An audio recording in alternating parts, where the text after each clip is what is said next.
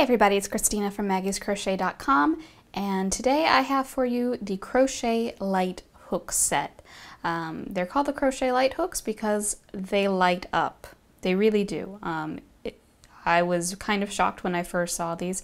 I've always wanted a, uh, a hook that would light up for those long uh, car trips where maybe it got a little too dark or you know, wherever you were that you just didn't quite, quite have enough light to see.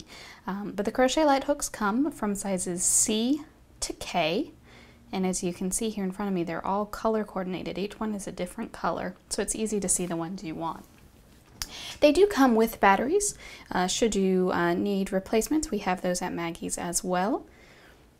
There's a little uh, battery pack right here on the back. And then you have a very simple on and off switch.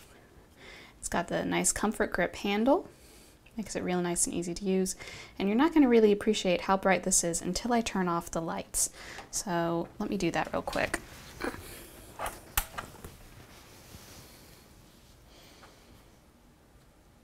It's kind of like a mini lightsaber for crocheters.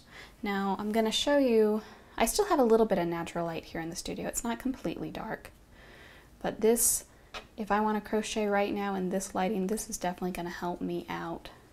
Make it a lot easier to see what I'm doing, especially with a dark yarn like I've got here.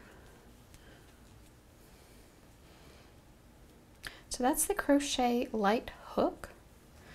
Like I said, we do have the battery replacements uh, on Maggie's as well.